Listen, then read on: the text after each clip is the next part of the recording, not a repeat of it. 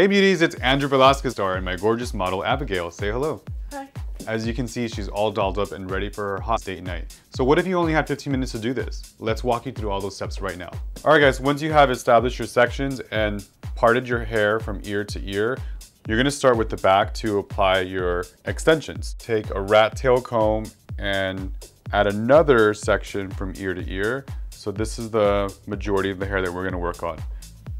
Go ahead and put the hair away that you're not gonna use and start with some dry shampoo right at the root. You're also gonna take your rat tail comb and add some texture to your scalp by teasing it. After you tease the hair, you add some hairspray and you're ready for extension number one. So you're gonna begin with the clips that have four and you're just gonna unclip those four clips to open up the teeth and start right above the ear. Take your brush and just kind of comb through by holding at the scalp. All right, now you're ready to curl your first section. The idea is to blend your natural hair in with the extension. Adding extensions is a great way to add life, texture, volume, and even experiment with some of the color.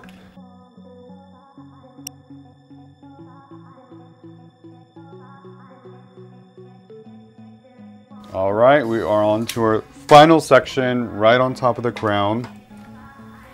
Just brush out those little frizzies and flyaways. All right, guys, we're moving on to the two front sections, which are our last ones. And we're gonna go ahead and clip away the hair that we're not using. And we're gonna add the extensions that have two clips.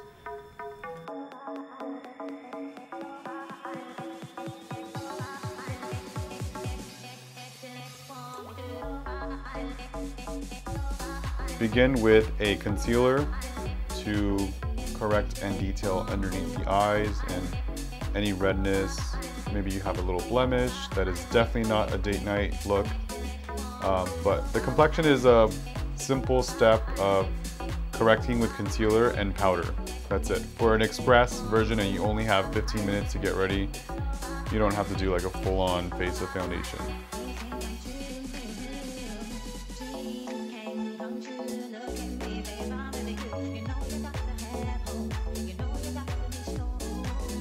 Next is blush.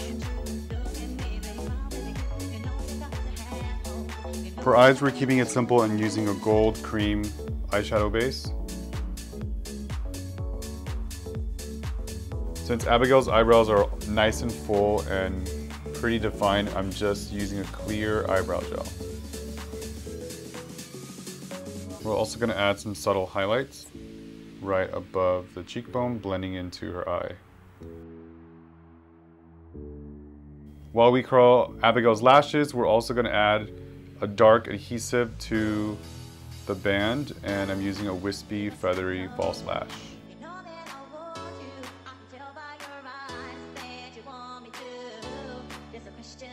While the top lashes start to dry, we're gonna go ahead and do mascara on the lower lashes. We are going bold for the lips.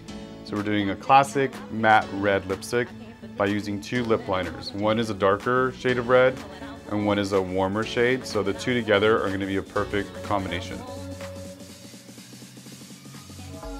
And I do slightly extend the top lip because who doesn't love a fuller lip? And that's usually the smaller lip. The bottom lip tends to be fuller, so we'll keep that within the natural lip line. And next is the brighter more blue undertone red. This is what really makes it pop. Anytime you add warm and cool colors together, the saturation level goes up. Lastly is a mattifying lip cream top coat. And this is gonna go over everything. I recommend using a brush that has a flat straight edge so you can get some clean, precise edges.